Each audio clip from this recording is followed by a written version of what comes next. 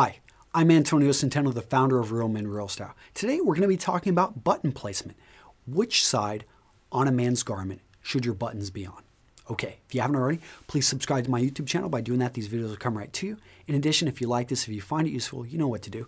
Like it right down there. And if you want more information about men's style, I've got a free 47 page ebook and a premium ebook, which you can grab just right down there. Okay, the question that came in Antonio, I enjoyed reading your articles on men's suits, and I found them quite informative. However, I was disappointed, such a strong word, that the article did not state on which side of the jacket the buttons should be placed.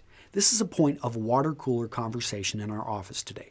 Can you help us understand this? Have a lovely day. Well, that's a good question because oftentimes we see things in clothing and we're like wondering why don't they just reverse that? Why don't they change that? And if any of you guys follow my videos, you know I like to change little bits on my clothing. People ask me about my collars or my lapel styles, why I've got perhaps you know certain buttons, why uh, you know those little details matter. So why are the buttons? And by the way, they're on the right side. So any men's jacket should have the button right here on the right side. The same with your shirt, and the same with uh, most pants if you look at them. So why are buttons on the right side. Three reasons. First is history. It started off that way. So most men are right handed. And it used to be that you would reach over if you carried your weapon over here on the left hand, which was at that time probably a sword or some type of uh, you know weapon that you'd reach over crossbody and pull it out. So that is why the button placement is or initially start off. You know, they it probably hasn't mattered too much throughout history, although I'm sure there's one guy that he put his buttons on the wrong side and he went over to reach over and missed grabbing his sword and then somebody, you know, somebody, you know, cut cut him in half or something. Sure, sure it's out there. But that was initially why designers decided to go with the right side. The other one that why do we do it nowadays? Habit. It's just the way that we have always done it and we continue to do it. I like to challenge these things though sometimes because, you know, it, it really is uh, well why continue to do it if we don't if the function is no longer there? But then again you look at most clothing it's simply we've done it this way so we'll continue to do it that way. Really a lack of creativity. Although there's something to be said about something that works.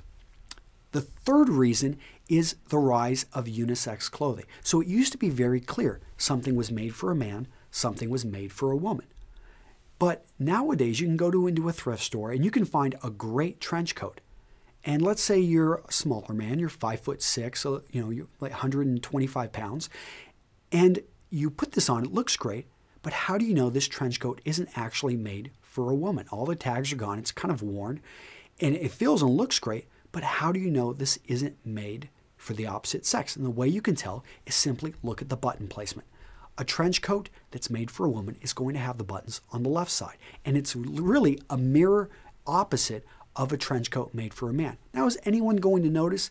Most people will not. And you could probably get away with it, especially if it's a classic trench made by like Burberry or something like that.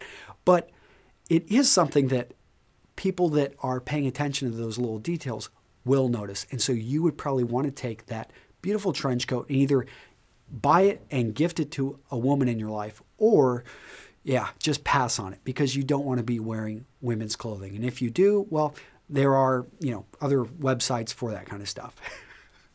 okay, guys, hopefully that answers the questions. You guys can uh, move on to something else around the water cooler there.